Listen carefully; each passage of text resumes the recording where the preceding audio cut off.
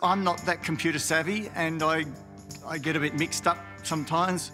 If there's something I don't understand, I just send the eHarmony team a question and they respond within a few minutes. You see that there are people from 40 to 80, it doesn't matter. There's someone out there that is compatible with you. When people send me icebreakers, I feel like George Clooney. I haven't felt so good in years. Review all your matches for free at eharmony.com.au.